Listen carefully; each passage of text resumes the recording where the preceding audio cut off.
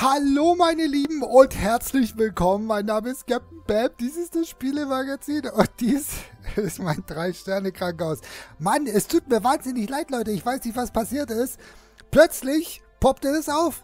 Ich habe einfach nur noch hier, ihr werdet es gleich sehen, ich habe ich hab nur ein paar Schönheitssachen gemacht und plötzlich offensichtlich hatte ich eine Heilungsquote von 90% und, und, und dann war es vorbei. Ich konnte euch das jetzt gar nicht zeigen. okay, wir lesen trotzdem mal. Glückwunsch, Ihr Krankenhaus vom, wurde vom Gesundheitsministerium von Tuba mit drei Sternen bewertet. Das beliebteste Touristenziel unseres County verfügte noch nie über eine so adäquate medizinische Versorgung. Unsere Besucher sind nun im Großen und Ganzen gesund und zufrieden und geben reichlich Geld aus. Selbst ihr Krankenhaus ist zu einer Art Touristenhochburg geworden. Bravo, mit wohlriechenden Grüßen. Und ich habe sogar noch ein Poster bekommen. Und 200 Kudos. Und einen Bonus. So. Ja, also irgendwas ist passiert. Ich, keine Ahnung, ihr seht es ja selbst. Ich habe hier noch so, ich war gerade dabei, zum Beispiel den hier zu platzieren. Ja, ich, ich wollte jetzt hier gerade noch so einen Kiosk hindingsen und hatte so einen Trophäenschrank und, und hier ein paar Automaten und sogar hier noch eine Aufnahme. Ja, aber ich habe sonst nichts gemacht, kein Raum, gar nichts. Ja, ich habe einfach nur ein paar Leute ausgebildet. Und ich war sogar noch am Zweifeln, ob ich vielleicht nochmal einen Bauabschnitt kaufen muss, weil hier ja überall schon wieder so Schlangen entstehen und ganz viele Leute hier so rumlaufen und kurz vorm Abnippeln sind. Aber scheinbar hat es gereicht. Es hat irgendwie gereicht. Ich habe keine Ahnung. Irgendwas habe ich wohl richtig gemacht. Ohne es zu wollen. So, sei es drum. Ja, okay. Also, ich habe so das Gefühl, wir sind hier ein Stück weit durch, Leute. Wir sind hier durch. Ja, wir haben jetzt alles geschafft, was zu schaffen war. Das war's. Guacal Bay haben wir erledigt. Ja, dann würde ich doch mal vorschlagen, gehen wir mal zurück zur Karte. Hier, da sieht man es. Drei Sterne in Guacal Bay. Prima. Grund genug, sich jetzt etwas Neuem zuzuwenden. Zum Beispiel, jetzt so viel gibt es ja hier jetzt im Moment gerade nicht, aber das könnte ja noch werden. Overgrowth. Nein, wir könnten jetzt hier einfach mal weitermachen. Nah, naheliegend wäre ja das hier. Auch wenn das ein bisschen strange ist, weil das sind ja nur so kleine Hütten. Aber da oben hat es auf jeden Fall ein Krankenhaus. Ja, ich würde mal sagen, wir gucken mal. Was ist das? Sweaty Palms. Die schwitzenden Palmen? Der, das Resort Sweaty Palms ist ein beliebter Urlaubsort für Leute, denen die häufigen Erdbeben und andere Naturkatastrophen nichts ausmachen. Okay, halten wir fest, Erdbeben und Naturkatastrophen. Heißt für mich übersetzt Hausmeister, die quasi im Staccato arbeiten. Aber gut, jetzt schauen wir erstmal. Krankenhaus von Sweaty Palms.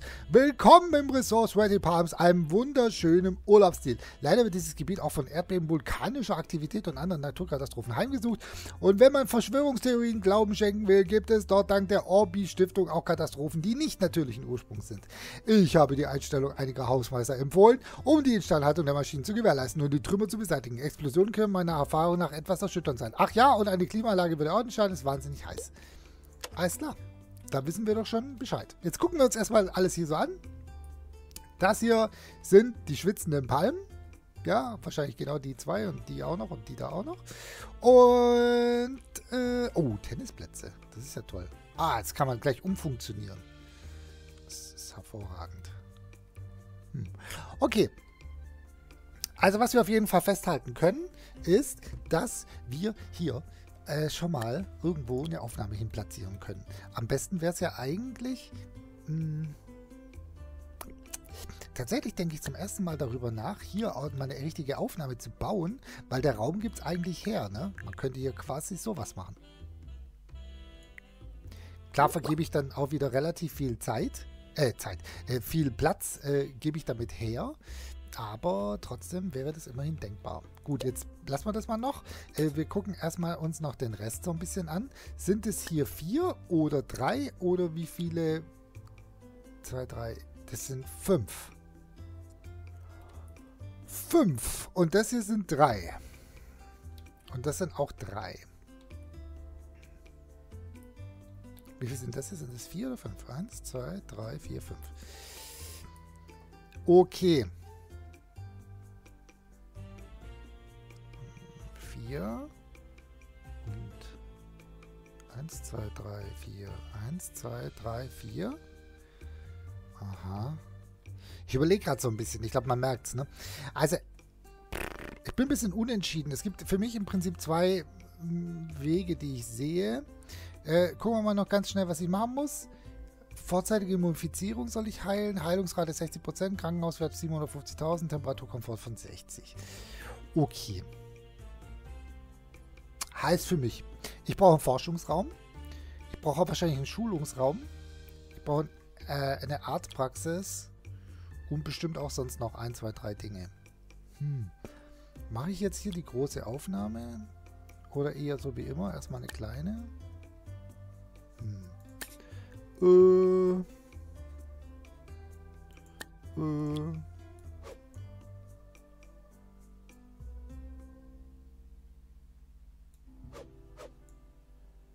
Ich glaube, ich baue erstmal hier im kleinen Stil. Ich habe ein bisschen überlegt jetzt, hin und her. Ich glaube, ich mache das erstmal so. Also, damit habe ich ja jetzt hier schon mal eine Aufnahme. Warum habe ich die so weiter hingesetzt? Weil, weil ich hier gleich mal meine erste Arztpraxis hindonnern werde. So. Und... Und hier geht man rein in die Arztpraxis. Und da hat es dann einen Tisch und einen Aktenschrank. So, und jetzt geht's halt wieder los. Alles wie immer. Ähm, lalala, wir brauchen natürlich eine kleine Klimaanlage. Machen wir gleich hinter dem Patienten hin. Dann kriegt er einen schönen kühlen Arsch. so, dann gibt es noch hier einmal das da.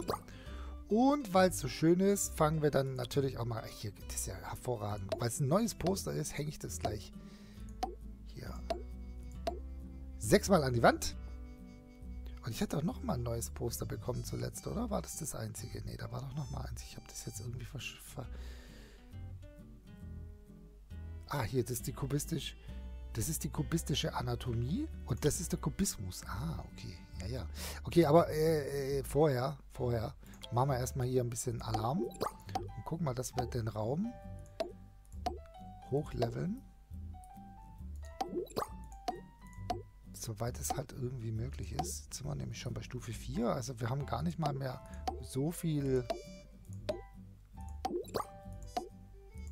Gelegenheit. Aber jetzt haben wir es eigentlich. So, das hier ist ein völlig valides, eine völlig valide Arztpraxis. Korrekt? Denke schon. Wie so oft werden wir davor jetzt erstmal zwei Bänke hin platzieren, weil wir wissen ja, in relativ kurzer Zeit haben wir 3000 Patienten, die sich da den Weg versuchen reinzupressen. Und äh, ich wiederum habe dann äh, ein Problem. Aber jetzt machen wir das erstmal so. Das ist schon mal grundsätzlich nicht so schlecht. Das ist auf jeden Fall mal ein guter, guter Ansatz. So.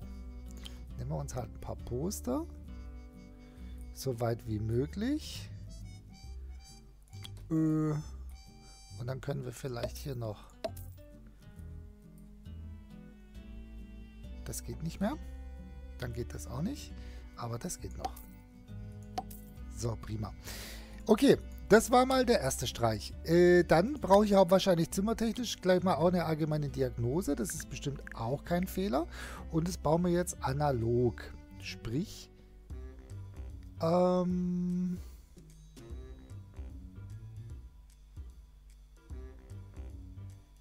Okay, die Türen versetze ich. Das ist bestimmt auch kein, kein Fehler, wenn ich das mache. So, jetzt pass auf, dann drehen wir das einmal um. Genau. Und ja, das nehmen wir jetzt erstmal so in Kauf. Was wir brauchen, ist natürlich dann noch eine kleine Klimaanlage. Auch die natürlich, wie gewohnt am Arsch der Welt. So, und dann einmal hier und den Rest wieder auf die Tour.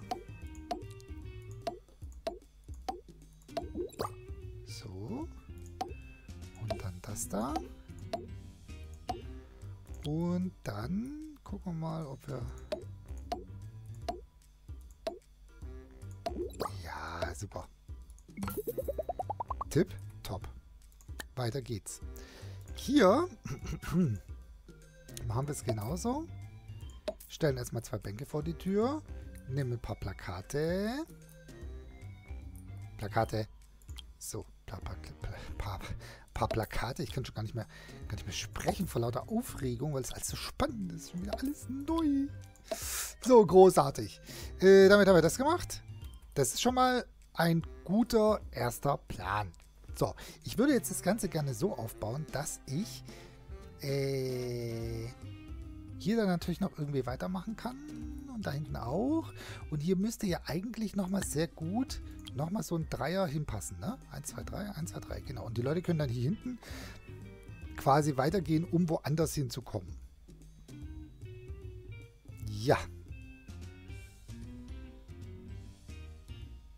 Ich glaube, das ist gut. Ich glaube, was ich hier gerade mache, ist zumindest nicht völlig bescheuert. Aber apropos völlig bescheuert. Toiletten. Toiletten.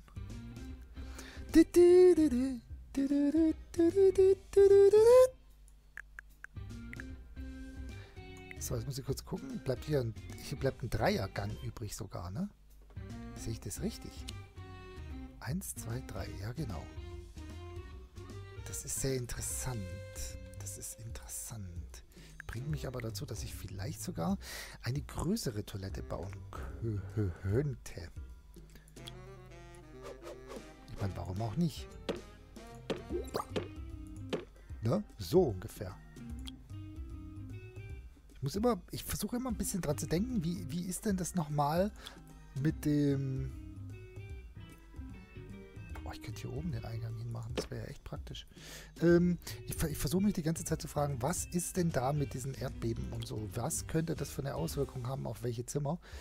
Aber wahrscheinlich ist es äh, jetzt zu viel, sich darüber Gedanken zu machen. Vermutlich werde ich äh, der Sache so nicht auf die Schliche kommen. Tippe ich jetzt mal. So, was ich auf jeden Fall brauche hier in dem Raum ist vermutlich eine große Klimaanlage. So. Und dann nehme ich aber noch wie immer ein paar Goldstern-Zertifikate und klemme die hinter die Kloschüsseln.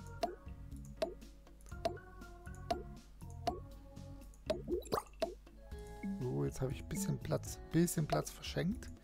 Aber ich denke, es geht sich trotzdem noch aus. So, und jetzt könnte ich eigentlich tatsächlich mal übergehen zu Plakaten.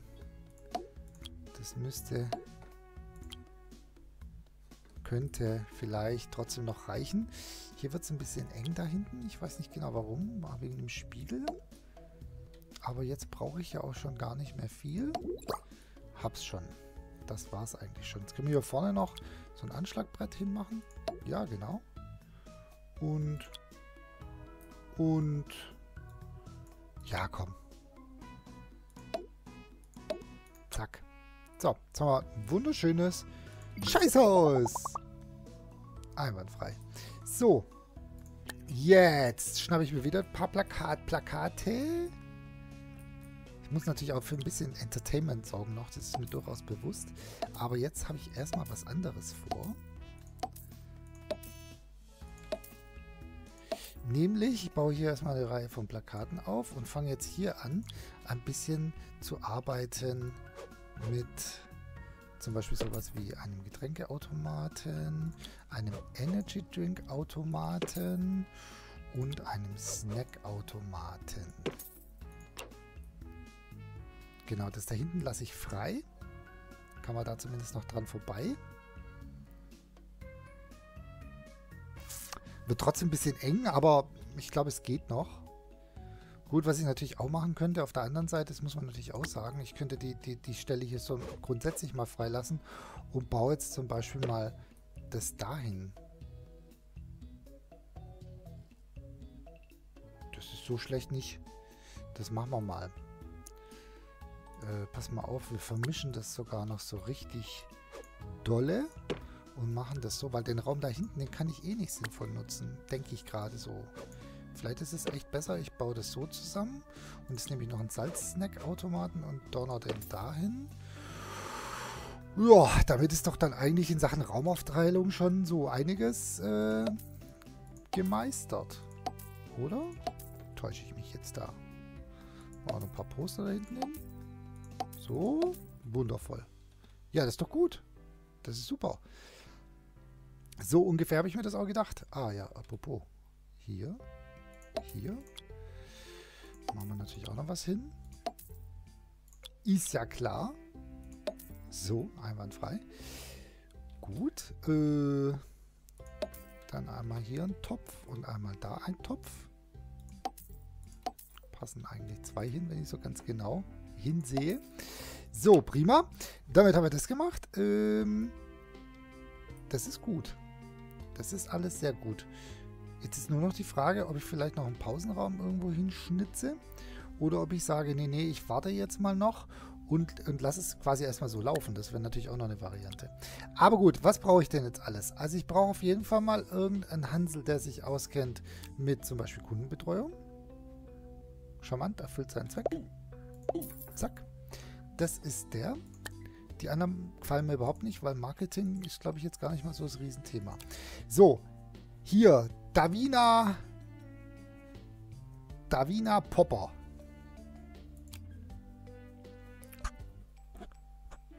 Und 20% erhöhtes G-Tempo. Okay, also den nehme ich auf jeden Fall mal. Ähm, Entertainer. Ja, der, eigentlich kann der ja nichts. Davina kann zumindest ein bisschen äh, Instandhaltung. Das ist ja schon viel wert. Okay, dann warten wir es einfach mal ab. Die haben wir jetzt ja eingestellt, von daher keine Ahnung, ob ich den jetzt noch einstellen will. Ich glaube eher nicht. So, Krankenpfleger wäre natürlich gut. Da haben wir auch hier, das ist ja toll. Das ist ja hervorragend. Zack, und weil das so hervorragend ist, werden wir die junge Frau auch gleich mal ein bisschen zwangsverpflichten im Bereich der Diagnose. Tack, da gehört die nämlich eindeutig hin. So, und jetzt brauche ich noch einen Arzt. Äh, am besten natürlich einen Allgemeinmediziner, der zudem noch unermüdlich ist und den ich womöglich später noch in der Radiologie einsetzen kann. Finde ich nicht schlecht. Hat niedrige Gehaltsvorstellungen, unermüdlich, top. So, so ungefähr könnte ich mir hier jetzt mal die Ausgangsbasis vorstellen. Alles andere müssen wir halt dann sehen. Also sowas wie Apotheke und so, das könnte man ja dann unter Umständen noch bauen. Ähm, ich glaube, ich mache das so. Ich habe das im, im letzten, in den letzten Let's Plays, fand ich das eigentlich ganz gut, die Sachen erst zu bauen, wenn ich weiß, worum es eigentlich geht. Das Einzige, klar, was ich noch machen muss, ist halt hauptsächlich die Forschung das sehe ich ein. Da werde ich irgendwie was machen müssen und die Weiterbildung werde ich auch wahrscheinlich auch brauchen. Aber das bauen wir dann alles in den nächsten Ausgaben so nach und nach. In diesem Sinne, meine Lieben, ich lasse jetzt mal laufen und wir schauen dann mal, wie sich das Ganze hier so entwickelt. Ich bin wahnsinnig gespannt, freue mich auf morgen äh, und äh, sage nur so viel, äh, ihr seid die Besten. Bis morgen, tschüss. Ich hab heute schon Trillionen Cops besiegt. Mein Livestream ist bei Millionen belegt. Hab heute schon 100.000 Autos geknallt. GTA macht's möglich, ich wurde noch einmal verknallt. Ich hab in meiner Welt ne eigene Stadt, die einen Zoo ein Aquarium hat. Ich bin der größte Fisch, regiert diesen Teich. Ich bau alles schön auf und mach zum Erdboden gleich. Der Pass kommt von CR7, ich zieh.